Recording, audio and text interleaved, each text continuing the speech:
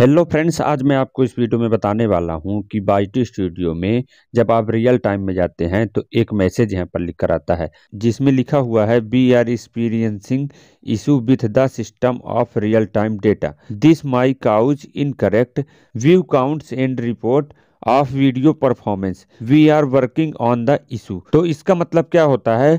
और ये मैसेज आपके बाईटी स्टूडियो में क्यों आ रहा है? इसके बारे में मैं आपको इस वीडियो में कम्प्लीटली बताने वाला हूँ। तो अगर आप इस मैसेज के बारे में जानना चाहते हैं तो इस वीडियो को शुरू से लेकर तक देखते रहिएगा।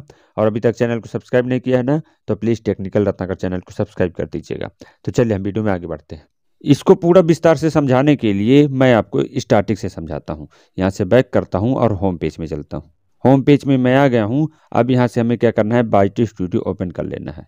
बाईटी स्टूडियो ओपन होने के बाद यहाँ एनालिटिक्स पर क्लिक कर देंगे। एनालिटिक्स में क्लिक करने के बाद ये इंटरफेस खुलेगा और इसको नीचे की ओर स्क्रॉल करेंगे। स्क्रॉल करने के बाद ये देखिए, यहाँ लिखा है रियल टाइम तो इसी पर आपको क्लिक कर देना है।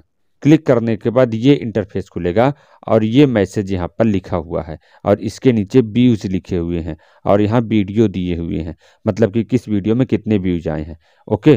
तो इस मैसेज का मतलब क्या होता है? ये सब कुछ मैं आपको इस वीडियो में बताऊँगा। इस मैसेज का मतलब ये है कि जो बाईटी स्टूडियो में ये व्यूज़ दिखा रहे हैं ना, इसको काउंट करने में कुछ गलतियाँ हो सकती हैं। मतलब कि कुछ बग हो सकता है।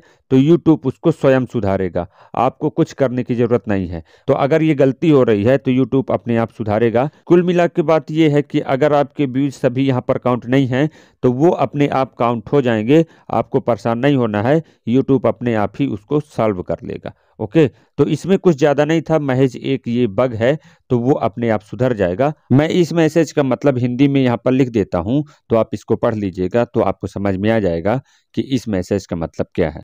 तो आई होप कि ये वीडियो आपको समझ में आ गया होगा और ये वीडियो आपको अच्छा भी लगा होगा। अगर ये वीडियो आपको अच्छा लगा है तो टेक्निकल रत्नाकर चैनल को सब्सक्राइब कर दीजिएगा।